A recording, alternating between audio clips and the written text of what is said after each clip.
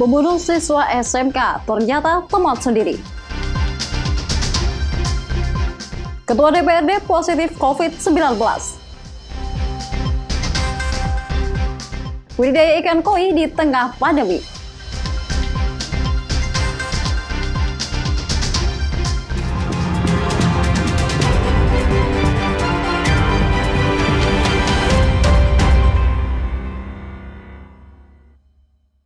Selamat pagi saudara, apa kabar Anda? Senang sekali Kompas Pekalongan kembali hadir dengan beragam informasi penting dan menarik, baik dari dalam kota Pekalongan maupun sekitarnya. Saudara, selain ketiga berita tadi, berita mengenai kunjungan Kapolda Jawa Tengah ke Pemalang dan aneka berita lainnya akan mengisi Kompas Pekalongan pagi ini. Saya Marisa Putri, inilah Kompas Pekalongan selengkapnya di Kompas TV Independen Terpercaya.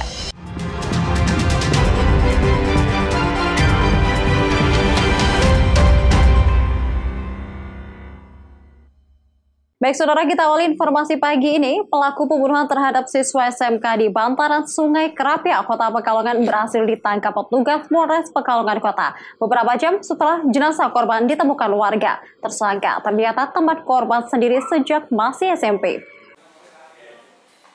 Berhati-hatilah walaupun terhadap teman sendiri.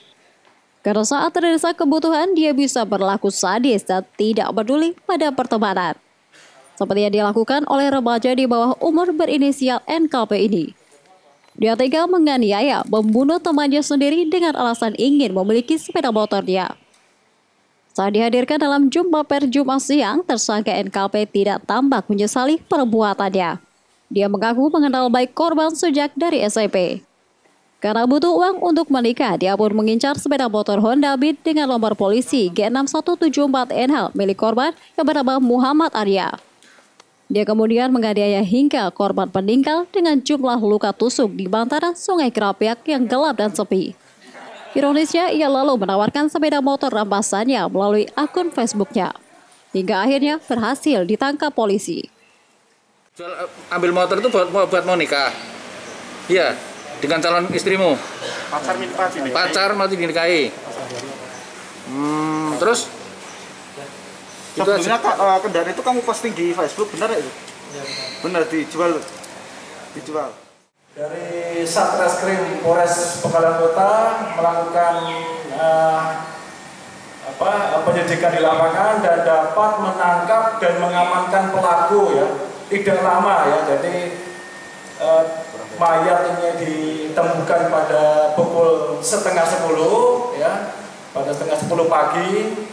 Dan tersangka dapat ditangkap dan diamankan pada pukul 000. Akibat perbuatannya, tersangka yang pengangguran itu akan dijerat dengan pasal 365 ayat 3 KUHP dengan ancaman hukuman maksimal 15 tahun penjara. Informasi terakhir, pacar korban yang juga masih di bawah umur sudah dinaikkan statusnya menjadi tersangka setelah sebelumnya hanya sebagai saksi. Karena berdasarkan hasil pemeriksaan, dia juga memiliki peran dalam kasus ini. Waregus, Kompas TV, Pekalongan. Ya, saudara mengaku sebagai dukun yang dapat menghilangkan susuk dan aura negatif seorang pria di Kabupaten Tegal mencabuli pasiennya. Dan ironisnya, tindakan pencabulan yang dilakukan di depan anak korban yang masih kecil. Korban yang sadar telah diperdaya akhirnya melaporkan perbuatan pelaku ke polisi. Ahmad Saifuddin, warga desa Kaliwungu, Kabupaten Tegal, harus berurusan dengan polisi karena mencabuli seorang wanita yang baru dikenalnya. Tersangka ditangkap polisi setelah dilaporkan oleh korbannya IM warga desa Tonggara, Kabupaten Tegal. Saat ekspos di Polres Tegal Kamis siang dijelaskan kepada korban yang baru dikenalnya, tersangka mengaku sebagai orang pintar yang dapat melepas susuk dan membersihkan aura negatif di tubuh korban. Karena percaya korban menuruti saat diminta melakukan ritual mandi kembang bersama tersangka. Kesempatan tersebut digunakan tersangka untuk menyetubuhi korban. Dalam pemeriksaan terungkap tersangka dua kali menyetubuhi korban dengan kedok ritual mandi kembang di rumah korban sendiri. Mirisnya lagi pencabulan dilakukan tersangka di depan anak korban yang masih kecil.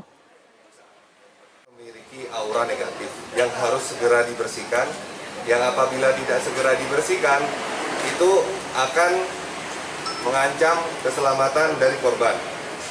Dari situ, kemudian si korban percaya, kemudianlah dilakukan ritual-ritual dengan cara seperti biasanya ada ada yang memandikan, memandikan, setelah memandikan ternyata eh, langsung disetubuhi. Kedok tersangka sebagai dukun cabul akhirnya terbongkar setelah korban yang sadar diberdaya melapor ke polisi. Tersangka sempat membela diri bahwa persetubuhannya dengan korban yang berstatus janda tidak dilakukan dengan paksaan tapi atas dasar saling suka. Nggak ada pak. Nggak ada, baru ini aja. Iya, Ada rekannya enggak dan Ada temennya nggak? nggak ada. Sendirian. Sendirian. Kenapa kok yang disasar korbannya ini? Udah kenal sebelumnya? Sebelumnya belum kenal. Polisi mengamankan pakaian korban, sebuah gunting dan tempat kemang yang digunakan sebagai ritual mandi. Akibat perbuatannya, tersangka dijerat pasal 289 KUHP tentang pencabulan dan pasal 378 KUHP tentang penipuan dengan ancaman hukuman paling lama 9 tahun. Yulianto, Kompas TV, itu. Kompas TV, Tegal. Dan saudara Kejaksaan Tinggi Jawa Tengah menahan Direktur PDAM Kudus atas kasus dugaan penyuapan dalam penerimaan pegawai baru di PDAM Kabupaten Kudus. Kejati Jawa Tengah juga menyita barang bukti dokumen dan uang tunai suap dari tangan tersangka.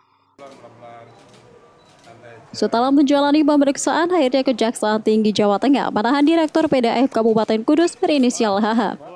Setelah menjalani pemeriksaan, akhirnya Kejaksaan Tinggi Jawa Tengah menahan Direktur PDAM Kabupaten Kudus berinisial HH berikut barang buktinya. Tersangka HH langsung digelandang ke LP Gedung Pade dan dikawal ketat oleh petugas kejaksaan dibantu anggota kepolisian setempat. Tersangka HH terlibat kasus dugaan penyuapan dalam penerimaan pegawai baru PDAM di Kabupaten Kudus. Selain menahan Direktur PDAM Kudus, Kejaksaan Tinggi Jawa Tengah juga menyita barang bukti pendukung seperti dokumen dan uang suap 65 juta. Ini adalah pengembangan dari perkara yang ada di Kudus OTT tanggal 11 Juni 2020 oleh tim Kejaksaan Negeri Kudus.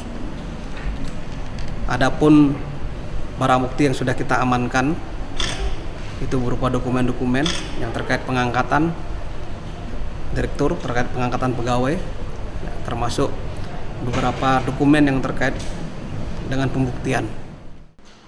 Kedua tersangka yang kini ditahan pihak Kejaksaan Tinggi Jawa Tengah merupakan tindak lanjut operasi tangkap tangan OTT yang dilakukan oleh Kejari Kudus. Pihak Kejaksaan Tinggi Jawa Tengah masih terus menyusut kasus ini, kemungkinan adanya tersangka lainnya. Senot Muji, Kompas TV, Semarang. Ya, Saudara Ketua DPRD Kabupaten Pekalongan positif COVID-19. Nantikan informasi selengkapnya usai jeda berikut ini.